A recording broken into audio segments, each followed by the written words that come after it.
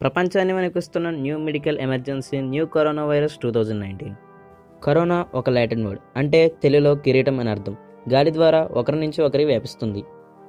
ఇది మనకు పాత చుట్టమే. ఎందుకంటే మనకు వచ్చే జలుబులో పది టు ముప్పై శాతం ఈ కరోనానే కాస్ట్ చేస్తుంది.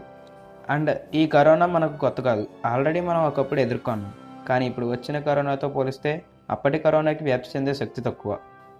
పంతొమ్మిది వందల అరవైలో మొదటిసారిగా మనిషికి సోకింది. అవి two twenty nine E and OC forty three away modify అయ్యి రెండు వేల మూడులో సార్స్ అండ్ రెండు వేల పన్నెండులో మెర్స్ ఈ రెండిట్లో సార్స్ ఇండియా వచ్చింది కానీ ఇవి డెత్ కాస్ట్ అవ్వలేదు. మార్స్ ఇండియాకి రాలేదు. అప్పట్లో ఆల్మోస్ట్ ఎనిమిది వేల కేసులు ప్రపంచవ్యాప్తంగా నమోదయ్యాయి. ప్రస్తుతం న్యూ కరోనా వైరస్ రెండు వేల పంతొమ్మిది వేగంగా వ్యాప్తి చెందిన సార్స్ కంటే ప్రమాదం కాదని వైద్యులు అంటున్నారు. మనిషి శరీరంలో ఎంటర్ అయిన రెండు వారాలకి తర్వాత ఫస్ట్ ఫీవర్ కఫ్ ఒళ్ళు నొప్పులు తలనొప్పే గొంతు నొప్పితో చెస్ట్ డిస్కంఫర్ట్ బ్రీత్లెస్నెస్ తీవ్ర న్యూమోనియాకు దారితీసి ప్రాణాలు పోయే ప్రమాదం ఉంది. ఇంతకుముందు వచ్చిన సార్స్ అండ్ మెర్స్ని సిమ్టమేటిక్ ట్రీట్మెంట్ యాంటీబయోటిక్స్ ఫ్లూయిడ్స్ ఈ రెండు ట్రీట్మెంట్ ద్వారా చాలా వరకు ప్రివెంట్ చేశారు. రెండు వేల పంతొమ్మిది ఎన్కోకి యాంటీవైరల్ మెడికేషన్ లేదు. హోమియోపతి యునానీ చికిత్సతో కరోనా వ్యాప్తిని నిరోధించేందుకు ఆర్సనిక్ ఆల్బ్యూమిన్ థర్టీని ఆయుష్ తీసుకొచ్చింది.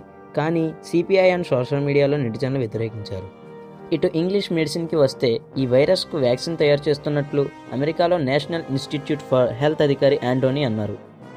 China Japan USA Vietnam Malaysia Singapore South Korea Thailand France Australia దేశాలు పాకుతూ భారత్కి స్ప్రెడ్ అయ్యింది.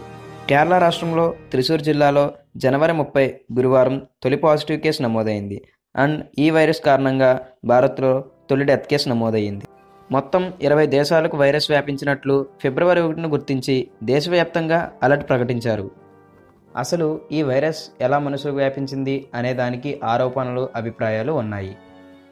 చైనాలో ముందుగా నమోదైన కేసుల్లో కామన్ పాయింట్ చైనాలో వుహాన్ సిటీలో లైవ్ యానిమల్స్ సీ ఫుడ్ అమ్మే ఒక మార్కెట్ వారందరూ ఆ మార్కెట్కి చెందినవారే. వుహాన్లో ఇద్దరు మృతి చెందగా వారి శాంపిల్స్ని లండన్లో పరిశోధించగా కరోనా వైరస్ అని తేలింది. క్రైట్ కోబ్రా రెండు విషపూరిత సర్పాలు. వీటిని తినడం వలన కానీ అవి కరవడం వలన కానీ వ్యాప్తి చెంది ఉండవచ్చు. ఇజ్రాయెల్కి చెందిన మైక్రోబయాలజిస్ట్ మాజీ సైనిక నిఘా అధికారి డానియల్ సోహం ప్రయోగశాలలో ఉండాల్సిన వైరస్ పొరపాటును బయటకు ప్రపంచానికి వచ్చిందా అంటే అవును అని సమాధానమిచ్చారు. ప్రతి ఎయిర్పోర్ట్లో చైనా నుండి వచ్చేవారిని థర్మల్ స్కాన్స్ ద్వారా చెక్ చేసి డౌట్గా ఉన్నవారిని కరోనా అటాక్ అయిందా లేదా అని పరిశీలిస్తున్నారు. చైనాలో ప్రజా రవాణా నిలిపివేసింది చైనా ప్రభుత్వం. హ్యాంగ్యాంగ్లో కరోనా బాధితుల కోసం వెయ్యి పడకల ఆసుపత్రి అందుబాటులోకి వచ్చింది. కేవలం నలభై ఎనిమిది గంటల్లోనే ఐదు వందల మంది పైగా భవన నిర్మాణ కార్మికులు ఎలక్ట్రీషియన్స్ ఇతర పనివారు అవిశ్రాంతంగా శ్రమించి దీనిని నిర్మించారు. ఇక చైనా విషయానికి వస్తే చైనాలో కరోనా వైరస్ మృతుల సంఖ్య రెండు వందల పదమూడుకి చేరింది. తొమ్మిది వేల ఆరు వందల తొంభై రెండు మందికి వైరస్ సోకినట్టు చైనా ప్రభుత్వం ప్రకటించింది. హాంకాంగ్ వర్సిటీ పరిశోధకుల అభిప్రాయాలు పరిశీలన నివేదిక ప్రకారం డెబ్బై ఐదు వేల మంది పైగా ఈ వైరస్ బారిన పడినట్టు తెలుస్తోంది. ఇక చైనాలో ఉన్న భారతీయులు ఎలా ఉన్నారు అనే సంగతికి వస్తే మూడు వందల యాభై మంది భారతీయులు ఫిబ్రవరి ఒకటి శనివారం నాడు ఎయిర్ ఇండియా విమానంలో ఢిల్లీకి తరలించారు. ఏపీ ప్రభుత్వం వైరస్ను సమర్థవంతంగా ఎదుర్కొనేందుకు మోడల్ సెంటర్స్ స్టార్ట్ చేసింది. కరోనా బారిన పడకుండా తీసుకోవాల్సిన జాగ్రత్తలు. చేతులను సోప్తో వాష్ చేసుకోవాలి. ముక్కుకి నోటికి మాస్క్ ధరించాలి.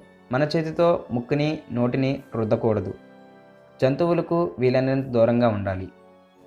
ఇప్పటి వరకు ఆరు కరోనా వైరస్లను కనుగొన్నారు. ఇప్పుడు రూపాంతరం చెంది వచ్చిన ఏడో రకం న్యూ కరోనా వైరస్.